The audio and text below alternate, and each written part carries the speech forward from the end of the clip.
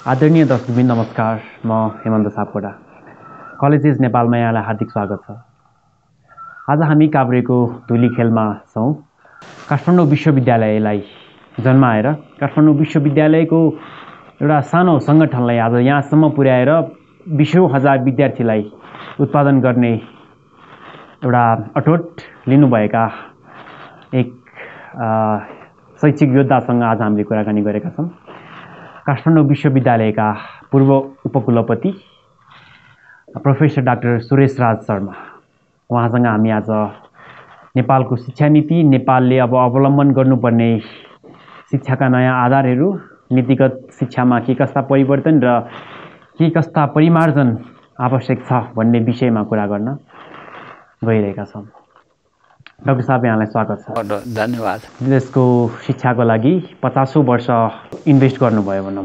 कति वर्षको हुनुभयो अहिले? म अहिले सतहत्तर हुन हुन आँटेँ अब। छयत्तर पुरा क्रस गरेर त्यसको बिचमा छु। छयत्तर र सतहत्तरको बिचमा छु। पचासौँ वर्ष देशको शिक्षाको उन्नति प्रगति र उत्थानको लागि दिनुभयो। एउटा आफ्नो उमेरले भनौँ केही गर्ने उमेरमा सबै कुरा भुलेर शिक्षालाई नै समर्पित गर्नुभयो। कसरी सम्झिनुहुन्छ ती अतीतका ती अनुभव क्षणहरूलाई? त्यति राम्रै लाग्छ। राम्रो भने मतलब हामी सबभन्दा पछि नै शिक्षामा शिक्षाको यात्रामा नेपाल धेरै पछाडि नै थियो। प्राचीन कालको शिक्षा वैदिक युगको शिक्षामा त त्यति पछि थिएनौँ हामीहरू। तर यो पाश्चात्य ढङ्गको शिक्षा अथवा मोडर्न एडुकेसनमा चाहिँ अलिक पछाडि नै थियौँ हामी। पछाडि के निकै पछाडि हुन थालेका थियौँ। त्यो भएको बेलामा चाहिँ हाम्रो पिँढी अब विश्वविद्यालय नै म विद्यार्थी भएको बेलामा हाम्रो त्रिभुवन विश्वविद्यालय पहिलो विश्वविद्यालय खुलेको हो। नाइन्टिन फिफ्टी नाइन भनेपछि करिब करिब सोह्र साल तिर खुलेको हो। त्यो बेलाको अवस्था हेर्दाखेरि अहिले चाहिँ शिक्षामा राम्रो कुरा पनि थुप्रै भएको छन् अलिकति अल्मूल्य कुरा पनि थुप थुप्रै भएको छन्। अब त्यसलाई राम्रो कुरामा पनि सन्तोष लिने ठाउँ छ। अनि केही हुन नसकेकोमा अलिकति व्यग्रता अथवा अलिकति असन्तोष लिने ठाउँ पनि छ। दुइटै छ मिक्स छ। राम्रो पनि छ नराम्रो पनि छ तर राम्रै धेरै छ। आजकल केमा व्यस्त हुनुहुन्छ? आजकल चाहिँ म दुईवटा कुरामा छु। एउटा प्राविधिक शिक्षालय चाहिँ सिन्धुलीमा खोल्न लागेको छु। म जन्मेको सिन्धुलीमा हो अनि त्यो ठाउँमा चाहिँ प्राविधिक शिक्षालयमा त्यहाँ बसेको छु। मलाई यताबाट विश्वविद्यालयबाट मेरो तिन वर्ष त बाँकी नै थियो रिटायर हुनलाई। तिन वर्ष पहिले नै रिटायर भएँ म। किनभनेदेखि यो मेरो मात्रै प्लान गर्नु हुँदैन कि संस्थाको प्लान हुनुपर्छ। अब संस्थाले चाहिँ अब यङ्गर लिडरसिप अर्को चेन्ज लिडरसिप खोजिराखेको बेलामा म म नै कन्टिन्यू गरेपछि एनर्जेटिक लिडरसिप हुनुपर्ने ठाउँमा एनर्जी घट्दै गएको मान्छेले धेरै दिन बस्नु हुँदैन जस्तो लाग्थ्यो। अनि त्यो लागेको बेलामा हामी घर सल्लाह पनि गऱ्यौँ। मेरो श्रीमतीले अनि त्यसो भए तपाईँ काठमाडौँ विश्वविद्यालय बनाउने बेलामा बनाउनु भयो अनि त्यसको प्रतिफल मुलुकले पनि पायो होला।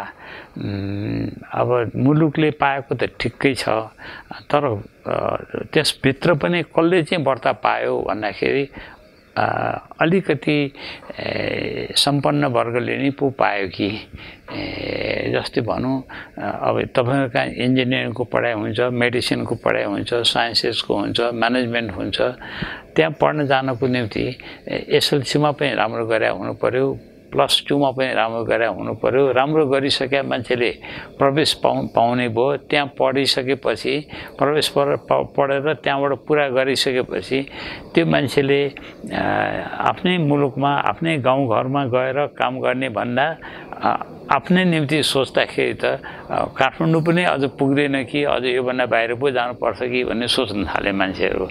त्यस कारणले तपाईँहरूको फाइदा चाहिँ त्यो विद्यार्थीहरू जसले कि बाहिर पनि जान सक्थे अथवा अन्त पनि जान सक्ने मान्छेले त्यहाँ जानुभन्दा त्यहाँ बाहिर जान नसक्ने मौका पाउन नसक्ने मान्छेको निम्ति चाहिँ धेरै काम लागेन नि।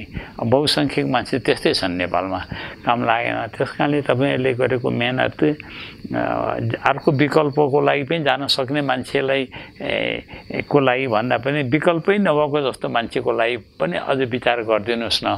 अब तपाईँ रिटायर भइसकेपछि कोसिस गर्नु भने त्यसैमा त्यही बिदामा कोसिस गरिदिनुहोस् न भनेर उनले भनेपछि अनि ल त्यसो भएदेखि माथिल्लो तहको मान्छेले चाहिँ बाहिर पनि आफ्नै निम्ति प्लान गरे हुन्छ। मुलुकलाई त्यो मान्छेको चाहिन्छ पनि। तर त्यो धेरै चाहिँदैन। धेरै चाहिँ त्यहीँ स्थानीय रूपमै काम गर्ने मान्छे चाहिन्छ। त्यस कारणले एउटा प्राविधिक शिक्षण संस्था खोलौँ त्यसो एउटा। त्यहाँ सर्ट टर्म ट्रेनिङ पनि दिउँ अनि रेगुलर कोर्स पनि दिउँ तर त्यहीँको मान्छेले पढ्न पाउन् र त्यहीँ काम गर्ने होस्। उनीहरूको फल पनि त्यहीँको मान्छेले पाउन्। त्यो भनेर एउटा सिन्धुलीमा हामीले म जन्मिया त्यहाँ भएको हुनाले र त्यहाँ खोल्नु नि त एउटा त्यो ठाउँ त ठिकै छ अहिले। विगतलाई सम्झौँ एकपटक आजभन्दा लगभग पचास वर्ष पहिले भनौँ नेपाली शिक्षा एउटा धराशयी स्थितिमा थियो मैले अघि पनि भने। त्रिभुवन विश्वविद्यालय दुई हजार सोह्र सालमा स्थापना भएर पनि सरकारी क्षेत्रबाट खासै शिक्षा क्षेत्रमा केही गर्न सकेका थिएन। काठमाडौँ विश्वविद्यालय आयो धेरै प्रोग्रेस भयो धेरै राम्रा काम भए हामीले सराहना गर्नुपर्छ। तर पनि विकसित देशहरू चाहिँ जुन गतिमा शिक्षा क्षेत्रको विकासमा जुन गतिमा अगाडि बढेका थिए त्यही गतिमा नेपाल चाहिँ अझ नै जान नसकेको हो कि जस्तो लाग्छ नि त। के कारण थियो होला? अझ पनि हामी थोरै पछाडि पढ्नुमा चाहिँ। त्यसमा अब अब एक त विकसित मुलुकहरू धेरै वर्ष पहिले नै सुरु गरिसकेका थिए। अब बेलायतको कुरा गऱ्यो भने हजार वर्ष पहिले सुरु गरे हो। अब मोडर्न एडुकेसन चाहिँ अनि अरू कैयौँ मुलुकहरू पनि अब अमेरिका पनि सात छ सात सय वर्षदेखि नै सुरु गरे हो। उनीहरूको सुरु नै उनीहरूले पहिलेदेखि गरे हुनाले उनीहरू स्लो हुन्छन् र उनीहरूलाई हामी भेट्ने होइन कि उनीहरू अगाडि बढिराखेकै छन्। त्यस कारणले हामीलाई भेट्नको निम्ति हामी प्रारम्भ गरेको नै मोडर्न एडुकेसनको धेरै भएको छैन। त्यही पचास साठी वर्ष पहिले नै भने हुन्छ। अनि त्यसो भएको हुनाले हामी पछाडि भयौँ भन्नलाई अहिले अलिक बेग राम्रो राम्रो बेग भएन भने चाहिँ हामी पछाडि नै रहन्छौँ। बेग त हामीले समात्नुपर्छ टिप्नुपर्छ हामीले पनि भन्ने लाग्छ। अनि अब त्यो बेलामा अलिकति हामीहरूको हाम्रो गभर्मेन्टसँग पनि त्यति साधन थिएन। अब साधन अब त पढाउने पढाउनको निम्ति राम्रो शिक्षा चलाउने पढाउने कसले त भन्दाखेरि त्यो तयारी पनि भएको थिएन। त्यो चाहिँ अलिक गाह्रो थियो। तर त्यस त्यो भए तापनि अब अब त हामी आफै जुर्मुराउने बेला भयो। विदेशको बाहिरको सहायताले मात्रै गर्ने भन्ने होइन कि? बाहिरको सहायता नभए पनि गर्न सक्ने बेला भयो कि जस्तो लाग्यो। त्यो लागेको हुनाले अब त्यसो भए विश्वविद्यालय अब त्रिभुवन विश्वविद्यालय पहिलो विश्वविद्यालय हो हामीले पनि त्यहीँ पढ्यौँ। त्यहीँ पढाउनु सुरु गरे। हो मैले त्यहाँ धेरै वर्ष त्यहीँ बसेँ सत्ताइस वर्ष त्यो म त्रिभुवन विश्वविद्यालयमै बसेँ। त्यहीँ भएको त्यो आफ्नै विश्वविद्यालय हो त्यो पनि। तर त्यसलाई अलिकति कठिनाइ के हुँदो रहेछ भने गभर्मेन्टले चलाएको विश्वविद्यालय हो। जे गर्न पनि गभर्मेन्टतिर भयो भन्नुपर्दो रहेछ। अनि गभर्मेन्टसँग आफूसँग साधन नभइसकेपछि विदेशतिर ताग्नु पर्दछ हामी अलिकति विदेशमुखी पो भयौँ कि एउटा सरकारमुखी अथवा अर्को विदेशमुखी भयो। त्रिभुवन विश्वविद्यालय पनि गाह्रो भयो। अब यहाँ मात्रै राम्रो भएर भएन। अब आफू क्याम्पस त सबै मुलुकभरि छ। त्यो बाहिरको बाहिरको क्याम्पसलाई न्यूनतम पूर्वाधारै भएको छैन अनि यहाँ काठमाडौँको लागि मात्रै दिउँ भन्न भनेर पनि नमिल्ने हुँदो रहेछ। सबै ठाउँमा हेर्नुपर्ने हुनाले। त्रिभुवन विश्वविद्यालयलाई गाह्रो परेको पनि दायित्व बढ्ता भयो। अनि त्यसको साधन चाहिँ त्यति पुगेन। कम साधन छ दायित्व बढ्ता भयो। त्यस्तो भएको थियो त्यहाँ। त्यस कारणले त्रिभुवन विश्वविद्यालय परेको कठिनाइ त्यो हो। तर एक दुईवटा चाहिँ एक दुईवटा कठिनाइ चाहिँ अप्ठ्यारो कठिनाइ छ। किनभने विद्यार्थीहरू अब राजनीतिक कुरा चाहिँ म त्यति गर्न मन लाग्दैन। मलाई म राजनीति धेरै जान्न पनि जान्दिनँ कुरा गर्नै मन लाग्दैन। तर राजनीति के भयो भनेदेखि विद्यार्थीहरूलाई एउटा अलिकति छुट भएको काम गर्न कुरा गर्न राजनीतिक कुरा गर्न राजनैतिक किसिमबाट विद्यार्थी र शिक्षकहरू शिक्षामा काम गर्ने मान्छे अलिकति इन्टेलेक्चुअल पनि भए अलिकति छुट भएको पनि भयो हुनाले विद्यार्थीले राजनीतिको कुरा गर्ने राजनीतितिर हामी जानुपर्छ भन्ने मुलुक बनाउन त्यहीँ जानुपर्छ भन्ने कुरा त नराम्रो होइन। तर राजनीति गर्नको निम्ति थलो चाहिँ होइन विश्वविद्यालय भनेको। विश्वविद्यालय शिक्षण संस्था भनेको। त्यो त जे काम गर्छ त्यसैमा एकत्रित एकाग्र चित्त भएर नै काम गर्नुपर्छ नि। धेरै धेरै गहिरोसँग जा जानुपर्छ। त्यो जानको निम्ति अब उनीहरूकोसँग भएको विद्यार्थीको समय जति त्यति भए भरको समय दिँदाखेरि त त्यो पढाइ पुरा पुरा गर्न कति गाह्रो छ राम्रो राम्रो विषय हो। त्यो गाह्रो छ भनेदेखि अब राजनीति पनि गर्ने हो र त्यो त्यो टाइमभित्र टाइम चाहिँ राजनीति राजनीति त पढाइ सिधैपछि गरे भइहाल्छ नि। जस्तो हामीलाई लाग्थ्यो। लाग्थ्यो। अहिले पनि अब विशेष गरेर प्राविधिक विषयहरूमा त यति टाइम खोज्छ तिनीहरूले कि त्यो टाइम नै व्रत दिनुपर्छ जस्तो लाग्छ मलाई। नेपालमा आजको दिनसम्म आउँदाखेरि शिक्षा एउटा नयाँ परिपाटीमा गइसकेको छ। तर पनि नेपालमा चाहिँ कति विद्यार्थीहरू छन् जो चाहिँ पढ्दै जान्छन् अनि उनीहरूलाई चाहिँ पछि भविष्यमा गएर के बन्छौ भनेर कसैले सोद्धाखेरि अब उनीहरूको चाहिँ त्यो सपना जुन हुन्छ नि त्यो सपना चाहिँ उहाँहरूको अभिभावकै थ्रुबाट आउँछ कि। मेरो छोरो चाहिँ डक्टर बन्नुपर्छ मेरो छोरी चाहिँ नर्स बन्नुपर्छ। प्यारेन्ट्सहरूले चाहिँ अगाडि नै त्यो उनीहरू के बन्ने भनेर डिसाइड गरे जस्तो एउटा सिचुएसन छ। यो कुराले चाहिँ नेपाली शिक्षा जुन क्षेत्रलाई चाहिँ कति अगाडि पुर्याउला? अब शिक्षाको बाध्यता छ अलिकति परिवारको बाध्यता भनौँ न। अहिलेको एउटा परिवार हामी परिवारको नेपालको साइज अहिले हेर्दाखेरि पाँचदेखि छजनाको परिवार हुँदो रहेछ एउटा। अझ संयुक्त परिवार त अझ ठुलो हुन्छ। त त्यो संयुक्त परिवार पनि धेरै छन्। त त्यही पनि पाँच छजना। पाँच छजना मान्छेमध्ये दुईजना त पढ्ने नै हुन्छन्। केटाकेटी दुईजना कमसेकम दुईजना हुन्छन्। अनि दुईजना जति चाहिँ बुढाबुढी भइसकेका हुन्छ। अनि बाँकी रहेको दुईजना हो। दुईजनाले चाहिँ भरको खर्च धान्नुपर्छ। पढाइ पनि अलिकति महँगो पनि हुँदै गएको छ। आधुनिक विषयको पढाइ चाहिँ अलिक महँगै छ। महँगो पनि हुँदै गएको छ। अनि महँगो भएको चाहिँ त्यसको निम्ति सुविधा पुऱ्याउनको निम्ति पनि महँगो भएको छ। किन कतिलो टिचर नरहेकन राम्रो पढाइ हुँदैन कतिलो वातावरण नभइकन फेसिलिटी नभइकन राम्रो पढाइ हुँदैन। त्यो गभर्मेन्टले दिएकोले सबैलाई पुग्दैन धेरैलाई पुग्दैन। अनि यस्तै भएको हुनाले अब यसलाई अभिभावकहरूको चाहना चाहिँ तिमीले तिमीले आफूलाई मात्र होइन कि आफ्नो प्यारेन्ट्सहरूलाई पनि हेर्नु पऱ्यो आफूभन्दा पछाडिकोलाई पनि हेर्नु पऱ्यो त्यो हेर्नुको निम्ति त अब सरकारमै जानुपर्छ भन्ने जरुरी छैन। सरकारको सेवाभन्दा बाहिर पनि काम गर्न काम लाग्ने किसिमको विषय पढ न भन्ने बाबाले चाहना गर्नु नराम्रो होइन। त्यो आत्मनिर्भर हुनको लागि त अलिक फ्री हुनु पऱ्यो नि हो। अब पा पारिवारिक बन्धनबाट पारिवारिक जिम्मेदारीबाट ज्यादै थिच्यो भनेदेखि चाहिँ धेरै फ्री हुन सक्दैन उसले। विकसित देशमा चाहिँ जुन विद्यार्थीहरूले चाहिँ आफ्नो करियर आफै रोज्छन् आफू के पढ्ने आफै डिसाइड गर्छन्। त्यो लेभलको नलेज चाहिँ नेपालमा कहिले भित्रिला होइन त्यो गाह्रो छ। त्यो किनभने बाहिर चाहिँ उनीहरूले के गरे भनेदेखि स्कुल तहको पढाइ त सबै ठाउँमा फ्री नै गरे र स्कुलको तहको पढाइ पनि जति राम्रो पढाइ गर्नुपर्ने हो सरकारी तहबाट फ्री मात्रै गरेन कि त्यसलाई राम्रोसँग सञ्चालन पनि गर्यो अन्त अन्त चाहिँ हामी कहाँ फ्री चाहिँ भइदियो सञ्चालन राम्रो भएन। अब सार्वजनिक स्कुलले फ्रीमा पढ्न पाइन्छ तर बाबुआमा चाहिँ त्यहाँ पढ्न त्यहाँ पढ्न गएर हाम्रो बच्चा बन्ला र भन्ने उनीहरूलाई अलिकति त्यति सन्तोष भएन। अनि त्यसले त्यसले त्यो व्यग्रताले गर्दाखेरि अहिले अलिकति प्राइभेट बोर्डिङ स्कुलहरू पनि आइरहेका छन्। महँगो छन् तर महँगो भए पनि त्यहाँ पो पढाइ हुन्छ कि? त्यहाँ चाहिँ धेरै फेल हुँदैन नि त्यहाँ पढ्न गएको मान्छेहरू। तर सार्वजनिक विद्यालयहरूमा चाहिँ पढ्न त जान्छन् पढाइ फी त धेरै छैन तर पास पनि धेरै हुँदैनन्। त्यस्तो त्यस्तो पनि परिरहेको छ। अनि बाहिर विदेशीतिर चाहिँ स्टेटले फन्डिङ गरेको माथिको पनि पढ्नको लागि त्यति महँगो छैन। स्टेट युनिभर्सिटीहरूले अब अमेरिकामा पनि छ अब उहाँ पनि त्यो पढ्नको निम्ति पढ्न सक्छौ भनेदेखि चाहिँ तिमीलाई पढ्ने अवसर छ भन्ने कुरा। त्यसमा गभर्मेन्टको पनि हेभी इन्भेस्टमेन्ट छ। त्यहाँ हामी कहाँ चाहिँ अलिकति गभर्मेन्टको इन्भेस्टमेन्ट पनि गभर्मेन्टसँग धेरै पैसा छैन भएको पैसा पनि इन्भेस्टमेन्ट त्यति पुगेको छैन शिक्षालाई चाहिने जति इन्भेस्टमेन्ट पुगेको छैन। त्यस्तो लाग्छ मलाई। प्राविधिक शिक्षा नेपालमा भित्राउने श्रेय तपाईँलाई नै जान्छ। त्यो कालखण्डमा तपाईँले प्राविधिक शिक्षा भित्राउँदै गर्दाखेरि भोग्नु परेको च्यालेन्जेसहरू चाहिँ? प्राविधिक शिक्षा भन्नाले दुई तिन तहको छ। एउटा आधारभूत तहको भयो खालि स्किल स्किल वर्कफोर्स भयो भनेदेखि सिप भयो भनेदेखि त्यो शिक्षा प्राविधिक भन्ने अब भनौँ न अब हामीले अहिले प्लम्बिङको एरिया भनौँ अथवा इलेक्ट्रिसियनको एरिया भनौँ अथवा टेलि टेलिकम्युनिकेसनको एरिया भनौँ मिडियाको यो सबै कुराहरू चाहिँ त्यो चाहिँ स्किल मात्रै सिके पुग्छ एउटा।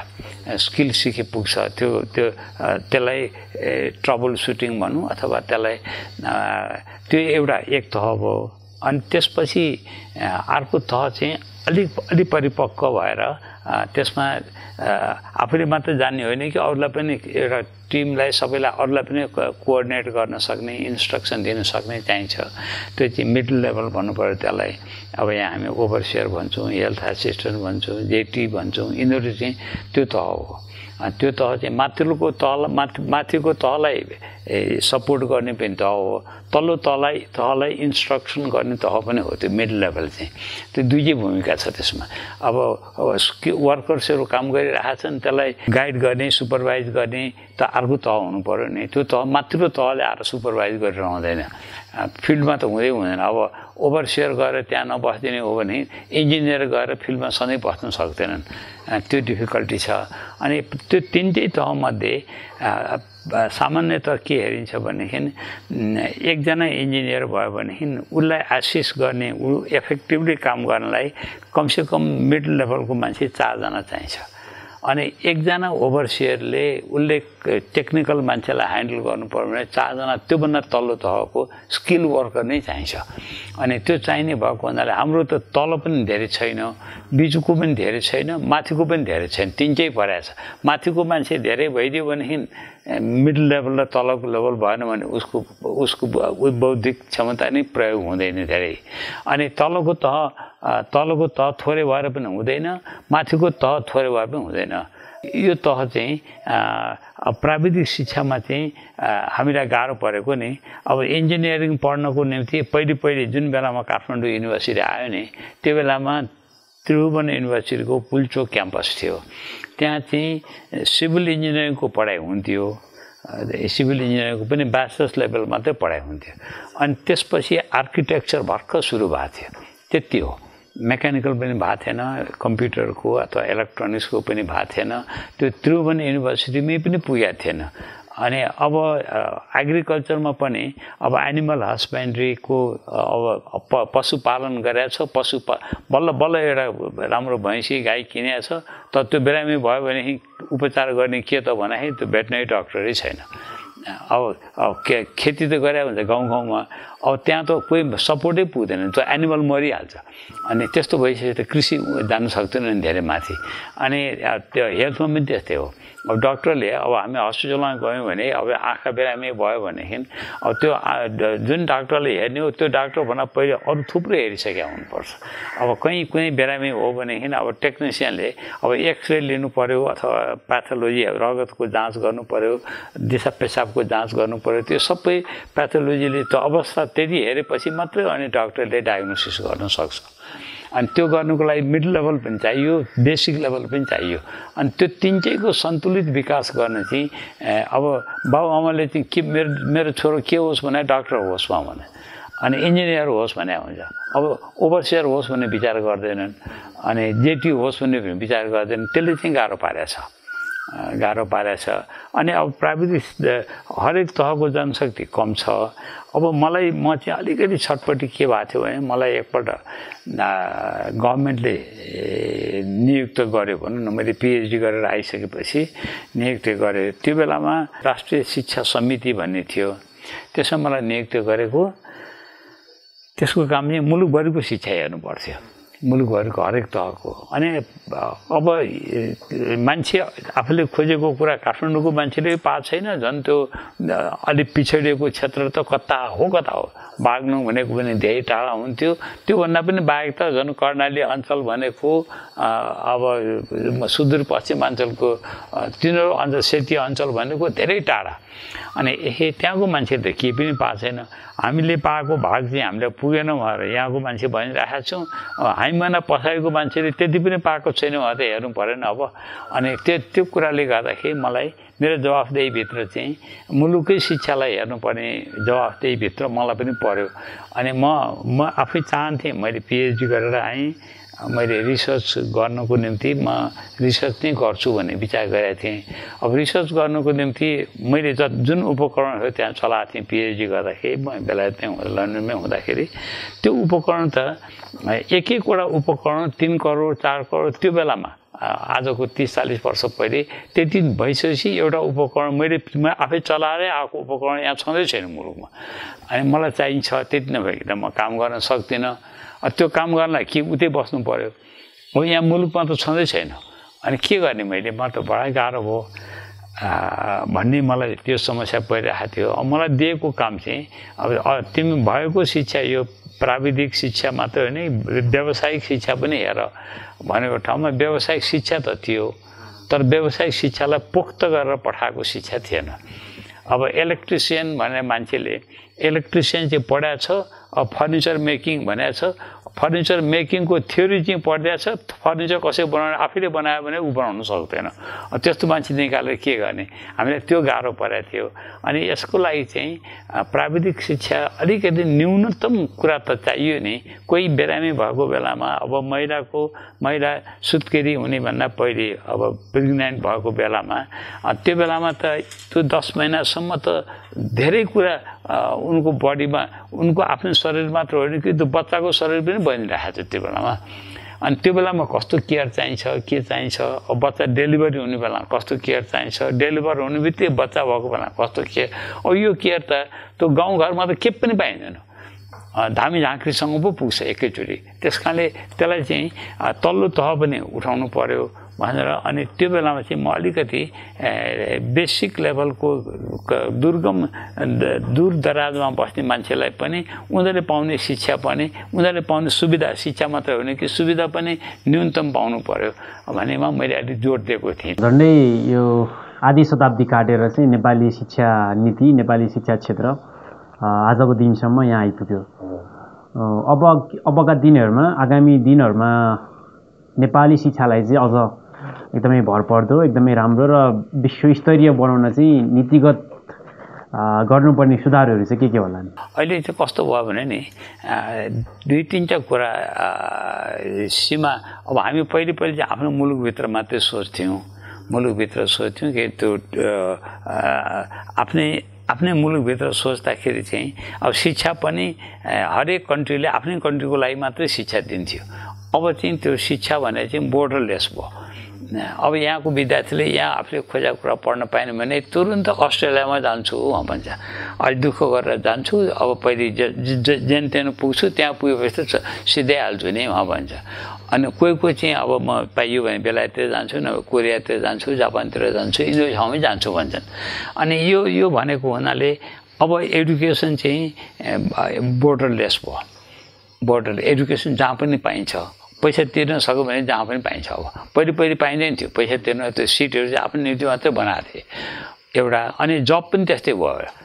राम्रो मान्छे त त्यो सबै संसारभरि चाहिएको छ। अहिले राम्रो भयो भने जहाँ पनि पुग्छ अनि अब जब पनि इम्प्लोइमेन्ट पनि बोर्डरलेस भयो। एडुकेसन पनि बोर्डरलेस भयो। अनि पोलिटिक्स पोलिटिकल बााउन्ड्री पनि थियो पहिले। अब रसा भनेको कम्युनिस्टहरूले हेरेको चाइना भनेको कम्युनिस्ट हेरेको हामी आफ्नै लागि नै हामी तयार गरिरहेका छौँ भने उनीहरूले पनि अब होइन इन्टरनेसनल विद्यार्थी पनि हामीले लिन सक्नुपर्छ त्यस्तो किसिमको गरिरहेको छ। त्यस कारणले अब अहिले अहिलेको बेलामा चाहिँ कम्पिटिसन मोर कम्पिटेटिभ पो भयो अब। एडुकेसन हेर्दाखेरि चाहिँ हामीलाई त्यति कम्पिटेटिभ जस्तो लाग्दैन।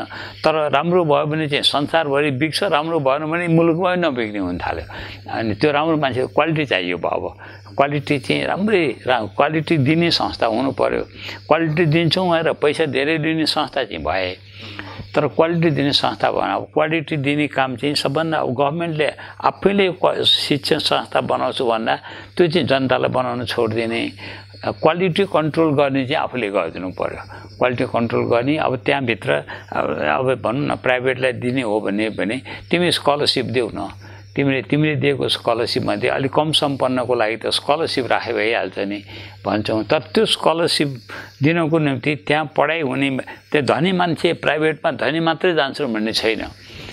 अब अहिले हेर्दाखेरि पिउन चौकीदारको छोराछोरी पनि बोर्डिङ स्कुलमा पढाइरहेको छ अब उनीहरूले पढाएको मतलब उनीहरू सम्पन्न भएर पढाएको होइन कि त्यहाँ चाहिँ अलिक राम्रो पढाइ हुन्छ भनेर लग्या त हो नि उनीहरूको आकाङ्क्षा त्यस्तो भएको त्यस कारणले हामीले ओभरअल अब जस्तो बेलायतमा जर्मनीमा कुराहरूमा सबै ठाउँको क्वालिटी एउटै छ। केहीमा अलिकति बढ्ता छ तर मिनिमम चाहिँ सबै ठाउँ पुग्छ। अब हाम्रो चाहिँ मिनिमम पुगेको छैन सबै ठाउँ मिनिमम पुगेको छैन। यसले गर्दाखेरि मोर कम्पिटेटिभ भयो। तर मोर कम्पिटेटिभ भएको पहिले त टिचरै पाइँदैन थियो। पढाउने मान्छे नै पाइँदैन थियो हामीले कम्प्युटर इन्जिनियरिङ कम्प्युटर साइन्स यहाँ पढाउँदाखेरि कम्प्युटर पढाउने मान्छे ग्रेजुएट भएको मान्छे टिचर भएको कोही पनि आउनु नचाहने। त्योभन्दा बढ्ता त इन्डस्ट्रीले दिन्छ उद्योगमा दिन्छ बाहिरै दिएको छ जब पाइने।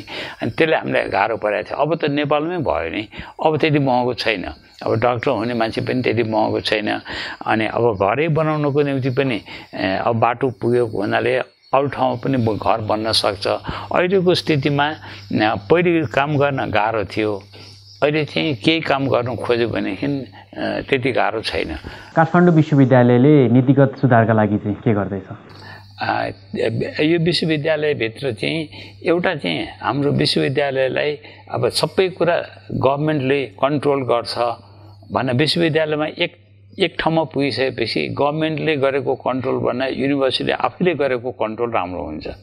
जस्तो अब हार्वर्ड युनिभर्सिटीलाई चाहिँ अमेरिकन युनिभर्सिटीले कन्ट्रोल गर्दैन। स्ट्यान्डफोर्ड भन्यो अथवा अक्सफोर्ड क्याम्ब्रिज त्यो संस्थाले संस्था चाहिँ उनीहरूले सबभन्दा मन नपर्ने नै अर्कोले गरेको कन्ट्रोल। अनि माने we don't need any control हामी आफै गर्छौँ नि। भन्ने त्यसरी हेर्छ। काठमाडौँ विश्वविद्यालयको लागि पनि अब यसलाई यसको म्यानेजमेन्ट त हुनु पनि अहिलेसम्म पनि गभर्मेन्टसँग त्यति त्यति भर परे होइन यसले। आफैले स्रोत जुटाएको छ। अब बाहिरको गभर्मेन्टले मद्दत गरेको छ। गभर्मेन्टले जस्तो हामीलाई जग्गाको लागि मद्दत गरेको छ। अब ल्यान्ड त धेरै महँगो भएको छ अहिले। अब हामी कहाँ झन् एक हजार रोप्ने जग्गा छ काठमाडौँ युनिभर्सिटीको त्यसमध्ये कहाँबाट पैसा ल्यायो त्यतिका जग्गा किन्न? भन्यो भने एक हजार रोपनी भएको ठाउँमा आठ सय रोपनी जति त सरकारले दिएको छ। अनि सरकारले दि दिएको छ त्यसको हामी दुरुपयोग पनि गरेका छैन। कुनै कुनै जग्गाको त स्वामित्व नै गभर्मेन्टसँग छ। हाम्रो युनिभर्सिटीसँग त्यसको स्वामित्व छैन। तर स्वामित्व किन चाहियो हामीलाई? गभर्मेन्टकै भए पनि त के भयो र? अनि हामीले त्यसरी हेऱ्यौँ।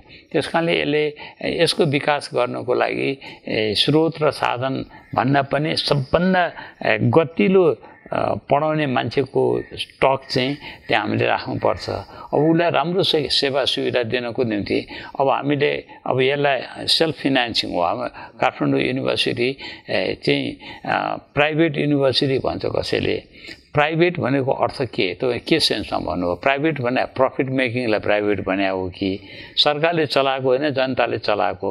अब त्यसलाई के भने अब हाम्रो घर भनौँ न ए टिपिकल किसान भएर जुन बसिया छ खेती गरेर जे जीविका चलाएको छ अब त्यसलाई प्राइभेट भयो भन्ने हो कि आफ्नो जीविका आफै चलाएको छ भन्ने प्राइभेट भने त प्रफिट मेकिङलाई प्राइभेट भन्ने हो भने त्यो त प्रफिट मेकिङ होइन। आफ्नो जीविका चलाउन आफ्नै हलो आफै जोतेको त कहाँ प्राइभेट भयो त्यो होइन हाम्रो डेफिनेसन अलि मिलाएको छैन। काठमाडौँ विश्वविद्यालय भने चाहिँ सेल्फ फिनान्सिङ हो प्रफिट मेकिङ होइन। अनि यहाँ केही गरिकन अलिकति पैसा बच्यो भनेदेखि त्यो पैसा त्यही युनिभर्सिटीमा बस्छ कुनै व्यक्तिको हातमा जाँदैन। त्यहाँ चाहिँ त्यहाँ कसैको सेयर होल्डर केही छँदै छैन त्यहाँ। अनि त्यो त्यो रूपमा भएको हुनाले म के भन्छु भनेदेखि सरकारको र दुवै दुइटैको कम्बाइन्ड एफर्ट्सबाट संस्था चल्नुपर्छ। गभर्मेन्टले दिन सकिन्छ जति दियोस् तर त्योभन्दा बाहेक हामी दिन सकेनौँ। तिमी आफू पनि स्रोत जुटाउ न भन्ने नै किसिमको मोड पो चाहिन्छ कि जस्तो लाग्छ। नेपालमा सरस्वती पछिल्लो ट्रेन्ड हेर्दाखेरि चाहिँ विद्यार्थीहरू चाहिँ क्वालिटीको नाममा होस् अथवा अरू विभिन्न अप्सनको लागि होस् नेपालमा चाहिँ त्यति पढ्न रुचाउँदैनन् हामीले देख्ने गरेका छौँ अब आइटीको क्षेत्रमा भयो नर्सिङको क्षेत्रमा एमबिबिएसकै क्षेत्रमा भनौँ। अलिकति यो प्राविधिक शिक्षालाई चाहिँ नेपालमा भन्दा पनि बाहिर आर्जन गरौँ भन्ने विद्यार्थीको एउटा चाहना देखिन्छ। काठमाडौँ विश्वविद्यालयले अफिलिएसन नदिएर कति क्याम्पसहरू नखुलेर विद्यार्थी त्यसरी बाहिर जानु परेको हो अथवा त्यसमा केही छ अरू कारण? होइन त्यसमा तपाईँको यहाँको क्वालिटी नपुगेर त होइन। क्वालिटी नपुग्या होइन। किनभने मेडिकलको डक्टर्सहरू हामी निकाल्छौँ नि। बाहिर जाने हो भने उनीहरूले प्र्याक्टिस गर्नको निम्ति त्यहाँ लाइसेन्स लिनुपर्छ। त्यो लाइसेन्स लिन पाउने लाइसेन्स पाउन सक्ने क्वालिटी नभएकोलाई उनीहरूले लाइसेन्सै दिँदैन। त्यस कारणले तपाईँको अब मेडिकलको त्यही हो नर्सिङको त्यही हो। नर्सिङको क्वालिटी बिएससी नर्सिङ भनौँ अथवा स्टाफ नर्स भनौँ नेपालको नर्सिङको क्वालिटी नराम्रो छैन। न नराम्रो छैन। तर त्यसलाई नर्सिङको राम्रै क्वालिटीको नर्सिङ ट्रेनिङ पनि दिने हो भने चाहिँ सबैले दिन सकेका छैन। अलिकति त्यहाँ चाहिँ प्रफिट मेकिङ एटिच्युड चाहिँ पस्याएको छ त्यहाँभित्र। त्यो प्रफिट मेकिङ कुरालाई चाहिँ कन्ट्रोल गर्नुपर्ने हो। क्वालिटीलाई कन्ट्रोल गर्नुपर्ने हो। प्रफिट पनि धेरै हुन नदिने क्वालिटी पनि खर्च गर्न नदिने मिनिमम त्यो पुऱ्याउनु पर्ने कुरा चाहिँ गभर्मेन्टले खेलिदिने हो पर्ने भूमिकाभित्र पर्छ। कि अब मेडिकल काउन्सिल भन्यो नर्सिङ काउन्सिल चाहिँ गभर्मेन्टले बनाएको बडी हो त्यो।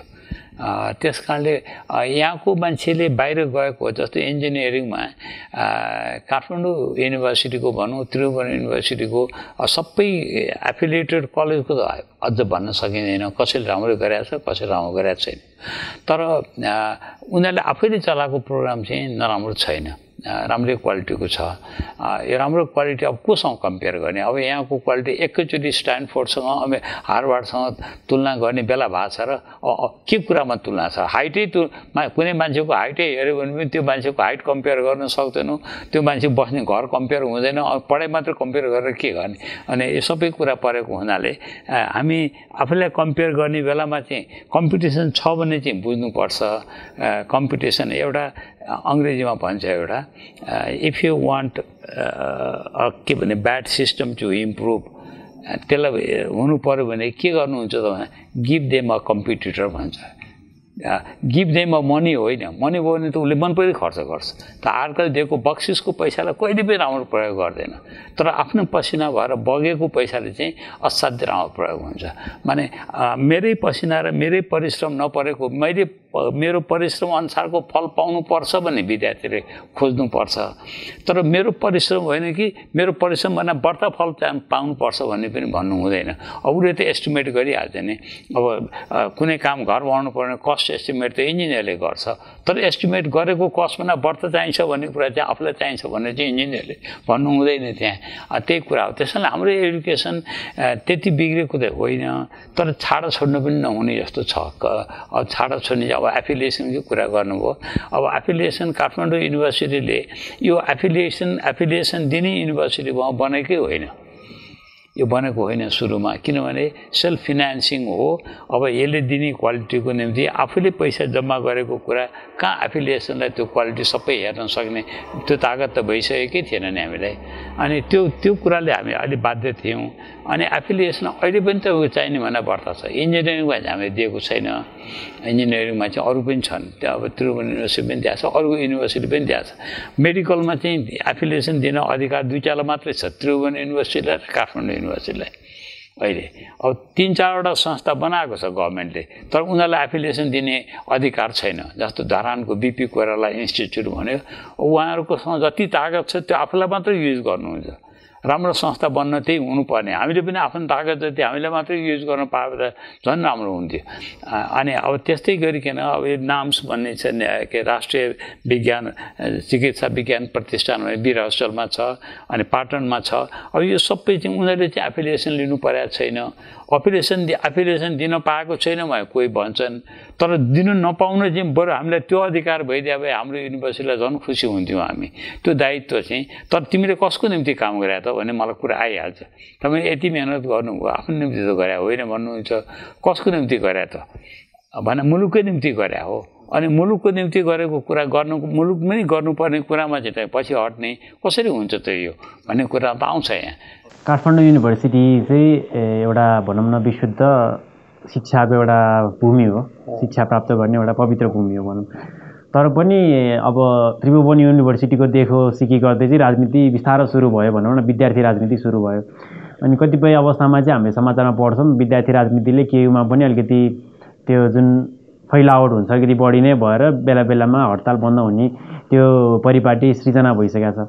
राजनीति शिक्षाभन्दा महत्त्वपूर्ण हो कि किन यसरी चाहिँ केयुमा पनि राजनीति हुन थाल्यो? केयुमा राजनीति भएको दुई दुईवटा कुरा पऱ्यो एउटा चाहिँ केयुभित्रकै विद्यार्थीले राजनीति गरे होइन कि बाहिरको विद्यार्थीले केयुलाई राजनीति गर्न लगाएको छ। अनि त्यो केयुको विद्यार्थीबाट तालाबन्दी भएको ऊ भएको त्यसको कज के हो त उहाँ सोध्ने हो भने त्यहाँको विद्यार्थीले आफूले खोजेको कुरा नपाएर होइन। हाम्रो विद्यार्थी र म भाइ चान्सलर भएको बेलामा म के भन्थेँ भनेदेखि सही विद्यार्थीसँग बसेर होइन यो त हुँदै नभए हुँदैन सर उहाँ अनि पक्का हो? हो। र त्यसो भएदेखि यो यो हामीसँग भएको जति पैसा छ त्यो पैसा चाहिँ तिमी म भएर डिसाइड गरौँ नि त। केमा चाहिँ खर्च गरौँ? अहिले हामीले गरेको खर्च बेठाउँमा पऱ्यो कि ठाउँमा पऱ्यो कि केमा गर्ने भन्ने कुरा त्यसले पुगेन भनेदेखि विद्यार्थीले हामी पैसा अरू थपिदिनुपर्छ भन्ने कि अब के भन्ने? ए यो त यो हामीले आफूले चाहिँ पैसा राखेर अरूलाई नदिएको होइन। हामीले त आफूले पैसा तिमीहरूले यो कुरा विद्यार्थीले बुझेपछि हाम्रो इन्टरनली त केही प्रब्लमै छैन। अहिलेसम्म छैन। इन्डिया यहाँको। तर के भनेदेखि बाहिरको? अब युनियन चाहियो। किन चाहियो भनेदेखि अरू ठाउँमा युनियन चाहियो। अब नेपाल विद्यार्थी सङ्घको युनियन चाहिँ काठमाडौँ युनिभर्सिटीमा किन चाहियो? अखिलको युनियन किन चाहियो? काठमाडौँ युनिभर्सिटीभित्रकै विद्यार्थीले हाम्रो विद्यार्थीको निम्ति हाम्रो मागहरू सुन्ने एउटा ऊ चाहियो। फेरि अर्कै बाहिरकोसँग किन जोड्नुपर्छ त्यसलाई र? होइन? अब पार्टी हुनु पऱ्यो भनेदेखि सबैले नगरपालिकामा उठ्नको निम्ति एउटा पोलिटिकल पार्टीकै मात्रै शाखा हुनुपर्छ भने जरुरी छैन स्वतन्त्र मान्छे पनि त भन्न सक्छ नि होइन? अनि त्यही भयो हामीले चाहिँ अहिले अहिलेसम्म के भएको छ भने युनियन अलिकति आउन खोजिरहेको छ आउन खोजेको हो। तर अब त्यसमा चाहिँ हामीले रेजिस्ट गरेका छौँ। अब पोलिटिकल मान्छेहरूले पनि गर्न खोज्नु भएको छ। अहिले हाम्रो मान्छेलाई यसो गर। अहिले अहिलेसम्म हामीले के गर्यौँ भने तपाईँको बरु पैसा दिनुहुन्न भने पैसा नदिनुहोस्। तर हामीलाई त्यो यो आफ्नो पार्टीको मेरो पार्टीको सङ्गठन गर्नको निम्ति मान्छे पठाउँछु भने त त्यो मान्छे त पैसा भन्दा पनि खराब मान्छे न नगरिदिनुहोस् न काम। हामी त्यही भनिदिउँ होइन? उत्पादनमुखी र रोजगारमुखी शिक्षा। अहिले नेपालमा अहिले एकदमै पपुलर ट्रेन्डमा छ यो। विश्व बजारमा पनि यसको अब भनौँ न माग यसको प्रयासहरू अभ्यासहरू भइरहेको छ। अब यसलाई चाहिँ अझ बढी विश्व स्तरमा चाहिँ नेपाली शिक्षाले चाहिँ कम्पिट गर्न सक्ने। हजुरले भन्नुभयो अघि धेरै कुराहरू कमी छ। तर अझ पनि यही शिक्षालाई चाहिँ अलिकति सुधार गर्दै चाहिँ नेपालमै त्यो लेभलको शिक्षा विद्यार्थीले पाउने दिन चाहिँ कहिले आउला? बजारमुखी र उत्पादनमुखी रोजगारमुखी। सुधार गर्ने भन्ने कुरामा चाहिँ हामीलाई अब तिमीले नि सुधार गर। तिमी सुधार अहिले यो काठमाडौँ विश्वविद्यालयले आफैले पढाएको प्रोग्राममा चाहिँ छ सात हजार जति विद्यार्थी भइसक्यो अहिले। अनि अब यसको क्षमता यसको पूर्वाधार यसको सबै क्षमताले गर्दाखेरि चाहिँ यो दस हजारभन्दा माथि जानै सक्दैन। मान जान सक्दै सक्दैन।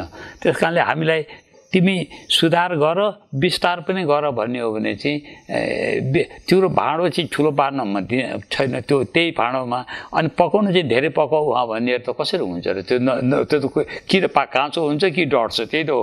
अहिले हामीले चाहिँ यसलाई जति साधन र सुविधा चाहिन्छ त्यति साधन र सुविधा पुर्याउनु जति चाहिँ तिमीले गर्नुपर्छ भन्ने हुन्छ। विस्तार मात्रै गर्नु हुँदैन। अटोनोमी चाहिन्छ यसलाई। तर अटोनोमीको युज पनि गर्न जानु पऱ्यो नि। आफूलाई अटोनोमी छ मन पनि गर्नुको लागि अटोनोमी चाहियो हो नि राम्रो काम गर्नुको निम्ति स्वायत्तता पो चाहियो। त अर्को कन्ट्रोल चाहिँदैन भने हो हामीले। अनि हाम्रो युनिभर्सिटीको सिस्टम चाहिँ अब कम्पिटिसनबाटै तिमीहरू फर्स्ट हुनु पर्छ। भन्ने नै हो भने चाहिँ त्यो त्यो फर्मुला ठिकै छ। तर कम्पिटिसन केयरफुल युज त अब मार्केट मेकानिजम मार्केटले डिसाइड गर्छ भन्ने नै हो भने आन्सर त्यहाँ छ। मार्केटले नराम्रो चिज प्रड्युस गरेर चिज छ भने एकपल्ट एकपल्ट झुक्याउला तर सधैँका झुक्याउन सक्छ र। त्यसो भने मार्केटले खोजेको जस्तो क्वालिटी त्यो यहाँ यहाँको प्रडक्ट्स त चाइनासँगै कम्पेयर हुनु पऱ्यो इन्डियासँगै कम्पेयर हुनु पऱ्यो कोरियासँगै कम्पेयर हुनु पऱ्यो नभए कोरियनको चिज आएर यहाँ बिग्छ हाम्रो चिज कोरियामा कहाँ बिग्छ र? अनि त्यसोमा त त्यो मार्केट भ्यालु त ओपन मार्केट भइसक्यो त अर्कै हुन्छ। अनि त्यो त्यसलाई चाहिँ दृष्टिगत गरिकन हाम्रो शिक्षाको विस्तार हुनुपर्छ। तर क्वालिटी चाहिँ गभर्मेन्टले मात्रै कन्ट्रोल होइन कि त्यहीँभित्र पनि क्वालिटी कन्ट्रोल गर्ने सिस्टमलाई हामी बढी रेस्पेक्ट गर्छौँ त्यसलाई भ्यालु गर्छौँ। क्वालिटीको मिसयुज गर्नेलाई चाहिँ हामी भ्यालु बरु बन्दै गर्छु पनि भन्नुपर्छ। त्यस्तो लाग्छ मलाई। अब यो हाम्रो एक्काइसौँ शताब्दीमा इन्फर्मेसन टेक्नोलोजी एउटा अभिन्न अङ्ग भएको छ। काठमाडौँ विश्वविद्यालयले कसरी प्रयोग गर्दैछ शिक्षा र प्रविधिलाई चाहिँ? एकदम काठमाडौँ सुरु गरेकै हामीले हो? वास्तवमा कम्प्युटर एडुकेसन भनौँ एउटा अथवा कम्युनिकेसन एडुकेसन त सबभन्दा पहिलो हाम्रो सुरु गरेकै हामीले कम्प्युटरको नेपालमा पढाइ सुरु भएकै पहिलोपल्ट। अनि हामीसँग अहिले त्यहाँ त्यहाँ विस्तार पनि गऱ्यौँ। कम्प्युटर साइन्स पनि छ कम्प्युटर इन्जिनियरिङ पनि छ इलेक्ट्रोनिक्स पनि छ इलेक्ट्रिकल इलेक्ट्रोनिक्स इलेक्ट्रोनिक्स पनि छ। यो सबै गर्दाखेरि माने इन्फर्मेसन टेक्नोलोजीको एजमा हामीले राम्रै गरेका छौँ। राम्रै गरेका छौँ। त्यो फेरि यति ऱ्यापिडली ग्रो भएको छ भनौँ न इन्फर्मेसन टेक्नोलोजीको अब मोबाइल फोन भनेको के? मोबाइल फोन भनेको माने पाँच वर्ष पहिले पत्तो पत्तो थिएन पाँच वर्षपछि संसारभरिको घर घरमा पुगिसक्यो। त्यो चाँड पनि टेक्नोलोजी अहिले आइरहेको छ नि। अनि त्यो टेक्नोलोजी आइसक्यो त्यसको कस्ट पनि छ फेरि। त्यसलाई केयरफुल्ली त्यसको त्यो मोबाइल फोनले धेरै उत्पात पनि गरेको छ नचाहिँदो कुरा इन्फर्मेसन रङ इन्फर्मेसन उत्तिकै प्रभावित भएको छ। राइट इन्फर्मेसन प्रभावित होस् भने ठाउँमा रङ पनि प्रभावित भएको छ। अब केटाकेटीले पढ्ने ठाउँमा अब कार्टुन हेर्ने भन्ने के हेर्ने भन्ने यो सबै मार्केटिङ माने यो यो त कमर्सियल कुराले चाहिँ बढ्ता एट्र्याक्ट गर्न थाल्यो कि। त्यो चाहिँ अलिक गाह्रो छ। तर जे भए पनि यो इन्फर्मेसन टेक्नोलोजीको एज भयो। अझ इन्फर्मेसन टेक्नोलोजी भन्दा अझ अगाडि गएको त बायोटेक्नोलोजी छ। बायोटेक्नोलोजी चाहिँ त्यो मे मेडिकल उसमा पनि एग्रिकल्चरमा पनि सबै ठाउँमा चाहिने चाहिँ बायोटेक्नोलोजी छ। बायोटेक्नोलोजीको हामीले पढाइ चाहिँ सुरु गरेका छौँ। हाम्रो ग्रेजुएटहरू चाहिँ इन्टरनेसनल स्ट्यान्डर्डकै छ काठमाडौँ युनिभर्सिटीको पनि। तर मार्केट इन्टरनेसनल स्ट्यान्डर्डको छैन। त्यो मान्छे बाहिर गएपछि तुरन्त बिग्छ नेपालमा त्यो कि किन्ने मान्छे टेक्नोलोजी किन्ने मान्छे छैन। व्यापार मार्केट इन्डस्ट्री छैन। अनि त्यसले चाहिँ हामीलाई गाह्रो पारेको छ। अहिले बायोटेक्नोलोजी त निकै पे पेनफुल छ। हामीले पहिलोपल्ट निकालेको अडचालिसजना निकालेका थियौँ। एक एक वर्षसम्म चाहिँ तिनजनालाई चाहिँ हाम्रो आफ्नै युनिभर्सिटी दिउँ जब जब। अनि त्योदेखि बाहेक टेक्नोलोजी बायोटेक्नोलोजीको इन्डस्ट्री नै भइदिएन। नभएपछि एक वर्षपछि एक वर्षसम्म झन् कामै पाएन। सबैले बाहिर काम पाए। अनि बाहिरको क्वालिटी त्यो क्वालिटी नभए त बाहिर कसरी काम पाउँथे? अनि त्यसमा हाम्रो ग्रेजुएट्सहरू तपाईँलाई एउटा सानो इन्फर्मेसन म के दिन्छु भने केयुको ग्रेजुएट्सहरू अहिले पनि पहिलो भर्ना भएको दिनदेखि पढाइ सिद्धिने दिन जुन दिन सिद्धिन्छ भनेको छ त्यही दिन सिद्धिया छ। रिजल्ट जहिले दिने भनेको छ त्यही दिन दिएको छ। अब दुई चार दिन यता मात्र रिजल्ट दिने। अनि कति मान्छे पास हुन्छन् भन्दा एट्टी पर्सेन्टमा बढ्दा मान्छे भर्ना भएको मध्ये एट्टी पर्सेन्टले कोर्स कम्प्लिट गरेको त्यो पनि रिपिट गरेर होइन। त्यसै कम्प्लिट गरेको छ। अनि एट्टी पर्सेन्टले कम्प्लिट त गर्यो तर जब अनइम्प्लोएबल जब पाएन भने के हाम्रो इम्प्लोइमेन्टमा मोर देन एट्टी पर्सेन्ट चाहिँ तिन महिनाभित्र जब पाइसकेका हुन्छ। त्यो त्यो चाहिँ क्वालिटीले गरे हो। त्यो क्वालिटी भन्नाले यसले गऱ्यो होइन कि अरूले पनि गर्न सक्छ। अब टियुकै भनौँ न अब इन्जिनियरिङ इन्स्टिट्युटले निकालेको अथवा मेडिकल इन्स्टिट्युटले निकाले मान्छे उनीहरू अनइम्प्लोइड भएमा कसैले भनेको that is a quality quality भएपछि त अनइम्प्लोइमेन्ट हुने क्वेसनै छैन। अनइम्प्लोइमेन्टसँगको क्वेसन भएको नै क्वालिटी नपुगे त हो नि। र अन्तमा तपाईँको शिक्षा क्षेत्रमा यो उमेरसम्म आइपुग्दाखेरि यति धेरै योगदान गर्नुभयो। अबका आगामी वर्षहरूलाई चाहिँ कसरी योगदान दिनुहुन्छ शिक्षा अब योगदान त अब हामीले पहिले पहिले त के थियो भने नि राजा भएको मान्छे पनि बुढेसकालमा चाहिँ बनारसमा जान्थ्यो मर्नलाई। होइन? त्यो त अब रेस्ट गर्ने टाइम हो। त्यो कहाँ एक्टिभ त्यो त्योसँग एक्टिभिटी एनर्जेटिक कुरा त एक्सपेक्ट गर्नु हुँदैन धेरै। सोसाइटीले पनि गर्नु हुँदैन उसले पनि आफैले पनि गर्नु हुँदैन। अनि त्यस कारणले यसलाई आफ्नो टाइम चाहिँ अब मैले दुईवटा कुरामा गरेको छु। एउटा चाहिँ आफ्नो बुक्सहरू लेखिरहेको छु म। एक वर्षमा एउटा जस्तो बुक्स चाहिँ मैले निकालिरहेको छु। त्यो पढ्नको निम्ति अब त्यो निकालेको मेरो प्लेजरको लागि मेरो प्लेजर भनेर मेरो अनुभव चाहिँ त्यहाँ हालेको छु अनुभव हालेको छु। काम लाग्नेले युज गर्छ काम लाग्नेले युज गर्दैन त्यसमा कमर्सियल मोटिभ पनि केही पनि छैन। एउटा त्यसमा पनि त्यसमा पनि टाइम त धेरै कुरा अब जस्तो तपाईँ ट्रेकिङकै कुरा गर्नुभयो नि ट्रेकिङको कुरा गर्दाखेरि अब मसँग भएको इन्फर्मेसन मैले चार पाँचवटा पुस्तक लेख्न पुग्ने इन्फर्मेसन छ। त्यो इन्फर्मेसन त त्यो पनि छ। त्यो काममा पनि अलिकति आफ्नो एक्सपिरियन्सलाई चाहिँ लेख्नको निम्ति त मलाई अरूले डिस्टर्ब पनि गर्दैन केही पनि गर्दैन। अब अरूसँग मैले केही रिसोर्स पनि माग्नु पर्दैन आफै लेख्नु त हो नि। अनि त्यो त्यो त्यसमा त्यही केही गाह्रो छैन। एउटा त्यो त्यही टेक्निकल एडुकेसनमा चाहिँ अलिकति मैले कन्ट्रिब्युट गर्न सक्ने मसँग भएको अनुभव चाहिँ गभर्मेन्टले युज गर्न सक्यो भने चाहिँ गभर्मेन्टले युज गर्न सक्यो भने नि त्यो मेरो प्रपर्टी होइन। म विदाउट एनी कस्ट केही पनि खर्च मलाई मेरो निम्ति केही खर्च नगरिकन अब जुन विद्यार्थीको निम्ति गरे उनीहरूको निम्ति खर्च गरिदिनुहोस्। मेरो निम्ति केही पनि गर्नु पर्दैन। त्यसमा चाहिँ काम गर्दैनलाई अब टेक्निकल भोकेसन टिभिटी भन्छ। Technical vocational training education training भन्छ। अनि त्यस त्यो फन्ड त्यो फ्रन्टमा चाहिँ नेपाल बलियो भएको छैन। बलियो भएको छैन। त्यो सुरु गरेर त्यो सिटिबिटी बनाएको पनि मैले हो। तर त्यति बलियो भएको छैन त्यो। बलियो भएको छैन। त्यस कारणले मैले कन्ट्रिब्युट गर्न सक्ने केही ठाउँ छ भने मैले एडभाइजरी क्यापेसिटीमा भयो टेक्निकल एडभाइसको क्यापेसिटीमा हो। अब म आफै गएर त रगडिनु त सक्दिनँ होला। अनि त्यति चाहिँ गर्ने क्यापेसिटीमा चाहिँ I am still willing to do that हामीलाई एकदमै महत्त्वपूर्ण समय दिएर महत्त्वपूर्ण विचार राख्नुभयो। धेरै धेरै धन्यवाद। धेरै धन्यवाद। मलाई पनि यो यो आफ्नो मनको भावना व्यक्त गर्ने मौका दिनुभयो। त्यो मैले अब भावना व्यक्त गरेको हो। यसमा फेरि यसको पछाडि अहङ्कार पनि छैन। कुनै सेल्फ एप्रिसिएसन मैले मैले चाहिँ गर्न सकेँ भन्ने मैले भन्न खोजेँ भने कि मैले जति गर्न सकेँ हाम्रो नेपाली सबैले गर्न सक्छ। नेपालीको त्यो त्यो गर्नको निम्ति अरूले पनि सक्ने भएको हुनाले त्यो नेपालीहरूले आफ्नो अपर्च्युनिटी अथवा आफ्नो लाइफ उसको निम्ति बाहिर विदेशमा हेर्नु पर्दैन।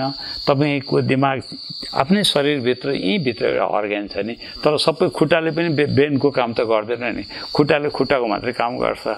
त्यसमाले यो अपर्च्युनिटी छैन कि अप अपर्च्युनिटी तपाईँको आँगनमै छ। जस्तै शरीरभित्रको अपर्च्युनिटी आफ्नै ब्रेनमा छ हातमा छ भनौँ न त्यस्तै जस्तै किन यहाँ आँगनमै छ खेतीको निम्ति हाम्रो पाखामै अपर्च्युनिटी छ त्यो खोलामै अपर्च्युनिटी छ खेतमै छ यहीँभित्र अपर्च्युनिटी छ एग्रिकल्चरमा प्लेन्टी अफ अपर्च्युनिटी छ। त्यस कारणले म चाहिँ के भने अप्टिमिस्टिक छु। तर हामी बाटो मात्रै ठिक ट्र्याकमा बस्यौँ भनेदेखि अपर्च्युनिटीको लागि बाहिर गइराख्नु पर्दैन जस्तो लाग्छ मलाई।